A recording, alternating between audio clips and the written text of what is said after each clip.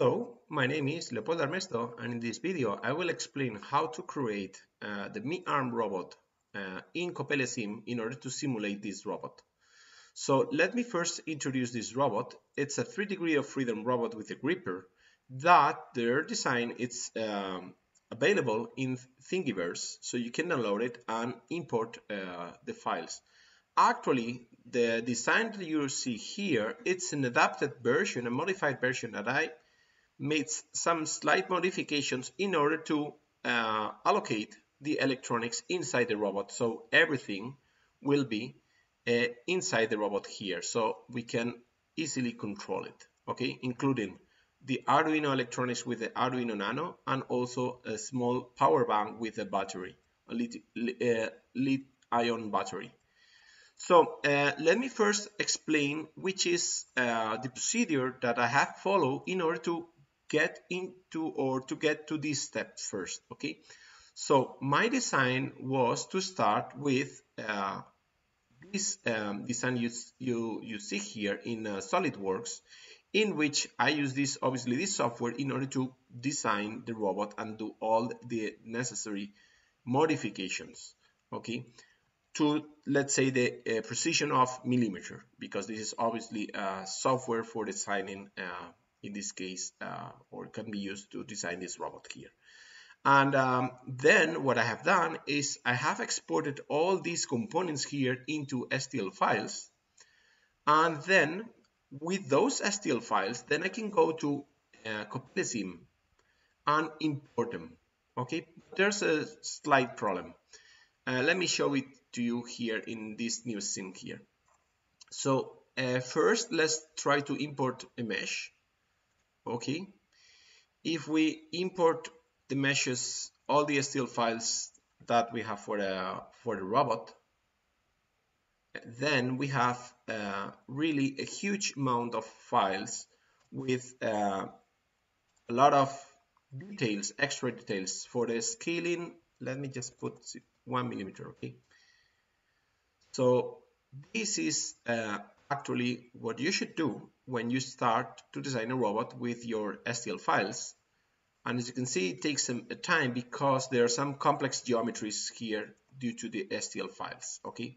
Some of them actually are really, really complex and we don't want them to be such complex. So I have done a process in which I have simplified uh, some of the geometries, particularly the screws uh, and also the electronics, the power bank, everything, okay? Particularly those electronics, I have simplified them. So let me just briefly uh, summarize what is what I've done. Okay, so let's start, for instance, with this screw here. Uh, there it is. Uh, if we enter into the shape edit mode, then we have the screw.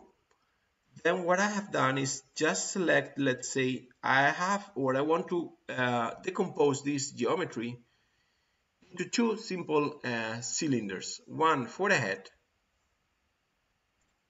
and this is one cylinder. And once I have created the cylinder, then I remove all the triangles I have selected Sorry, I didn't mention it, but in order to select the triangles, you have to hold on the shift uh, button. And then with the rest of the triangles, you select them. There it is. And then you create another cylinder. And if you do this carefully, it's not the case. This is, uh, let me just repeat again. The reason is, let me just do it again, is when we remove that we, we leave some triangles. Let me do it like that. The reason is that we leave some triangles. We can see it here, but yeah, let me try it again. Okay, and now remove this. And to make sure, let me just simply hide this part here, this component here. Let me just hide it to have a better or a clear view. Yeah it doesn't matter yeah. Okay. Yeah it is. And now with let me just hide that one the one I have created the cylinder for temporarily. And let me see yeah that's that's the reason when we selected the cylinder, we left some triangles here. Okay, so that's what we have to clear. Oops. So you have to clear all these triangles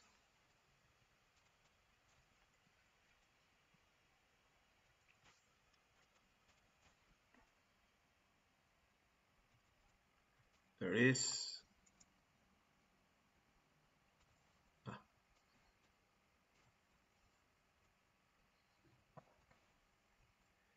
sometimes it takes more time than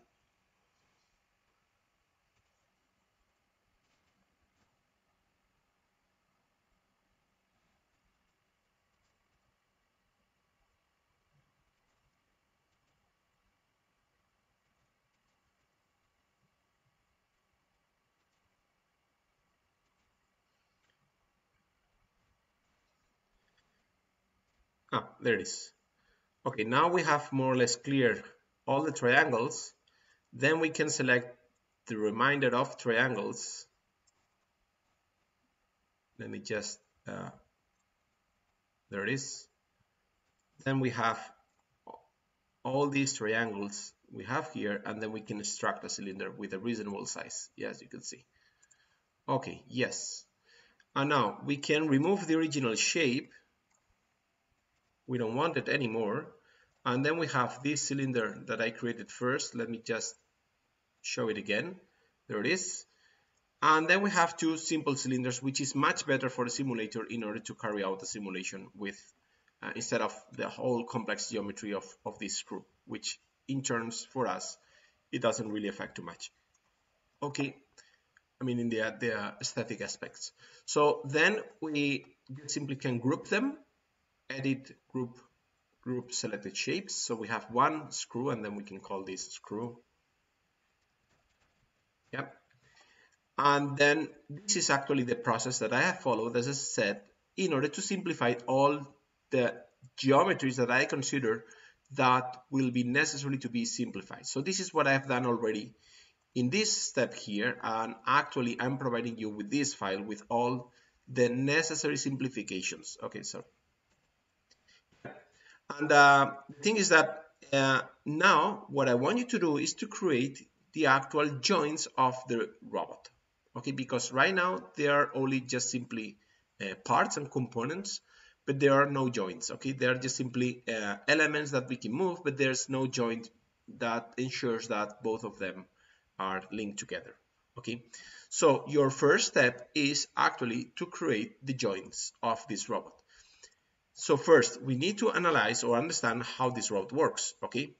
Clearly, you can see here, this will be joints. These things here will be joints. And this thing here will be joint. This one here, this one here as well, this one here, okay?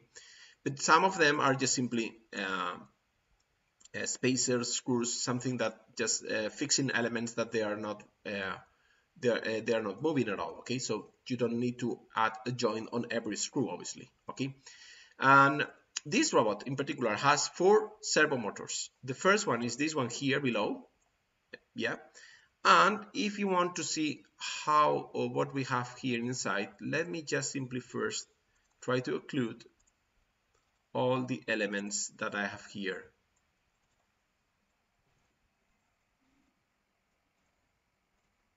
There it is. Okay.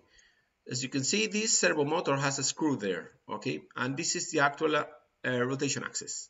So we have to find out which are the rotation axes for each of the joints, and we need to create a joint. All of them will be revolute joints, that one here.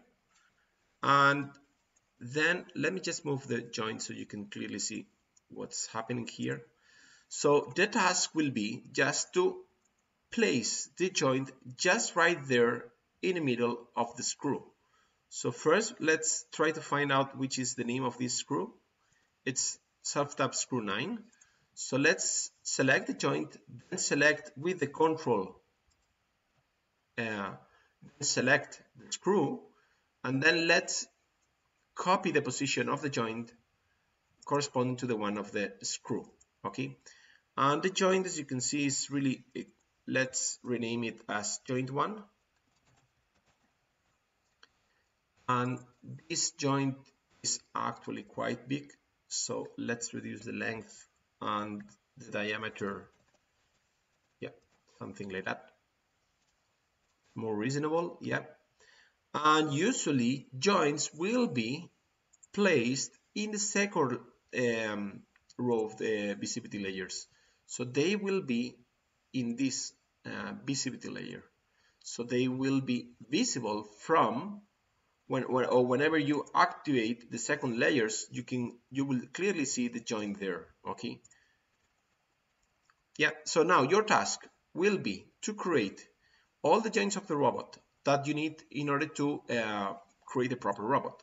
So let me just simply mention that this first joint is the joint one that's correct. This servo motor here is servo 2 so this is joint 2 this servo motor here is servo 3 and this is joint 3 and this is the gripper which is the servo 4 yeah so it's it has to be joined right there. Yeah joint 4 but the rest the name of the rest of the joints is not that relevant. You can just simply uh, assign whatever name you want. Okay? And remember that you have to create the joints on the proper position and orientation so for instance if you want to create a joint there you just simply have to create another joint there select as I said the corresponding screw, move it to the corresponding position, but also remember that sometimes uh, we might need also to assign the correct orientation. So this is the actual axis, okay? And then this joint here will be uh, again with a small length, smaller length and diameter. And there it is, okay? okay so your task for this um, first step that I want you to achieve is to create the joints of this robot thank you very much